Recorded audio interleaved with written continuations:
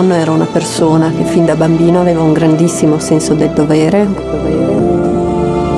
Siate esigenti con voi stessi ed indulgenti con gli altri, questi erano i principi di base.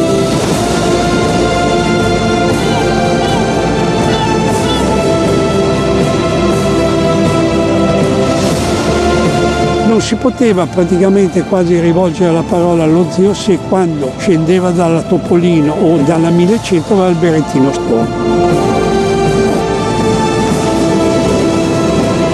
Viene fuori che sia Parodi che Ravelli corrono su moto con motore americano. E allora Carlo Guzzi se ne esce dicendo voi, patrioti decorati al valore, uomini coraggiosi, correte sulla moto americana, ve la do io la moto e tira fuori un progetto di una moto rivoluzionaria.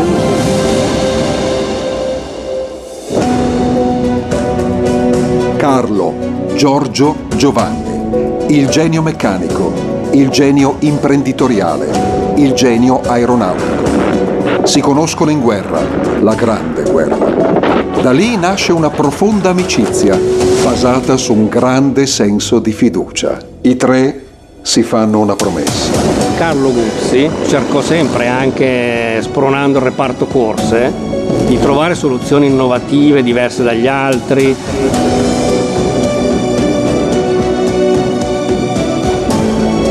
Se una cosa tecnicamente era possibile, si poteva fare anche commercialmente. L'anima Guzzi è folle, audace, è coraggiosa, si affida alla sua immaginazione, si fa trascinare dalle emozioni. In tutto quello che fa ci mette il cuore.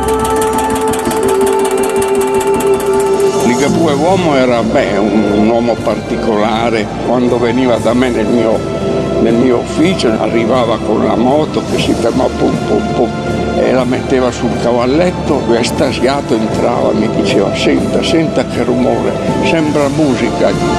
La vittoria ha riso al corridore italiano Temmi che ha marciato ad una velocità di 150 km all'ora. Penny lo definirono il Black Devil, affrontava le curve con un coraggio che aveva sconcertato. Un pezzo di ferro che ha un'anima e che può parlare e raccontare tante cose.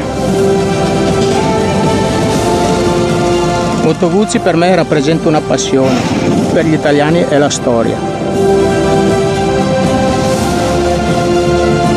Io penso che Carlo Guzzi avesse quel fuoco sacro che fa sì che una persona possa diventare un costruttore di sogni. Carlo, Giorgio e Giovanni si fanno una promessa, costruire una motocicletta di nuova concezione. La promessa si è presto trasformata in una straordinaria avventura, una realtà ancora viva nel cuore di tutti.